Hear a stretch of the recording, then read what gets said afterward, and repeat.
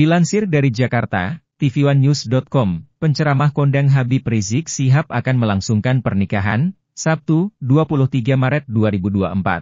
Habib Rizik mau nikah, Sabtu besok sore, ujar sumber TV One News, Jumat, 22 Maret 2024. Pernikahan bakal dilangsungkan di kediaman Habib Rizik Sihab di Petamburan, Jakarta Pusat. Acara, hanya untuk keluarga dekat. Lanjutnya lagi, namun demikian, belum diketahui siapa nama calon mempelai yang akan dipinang oleh Habib Rizik Sihab, diketahui Habib Rizik.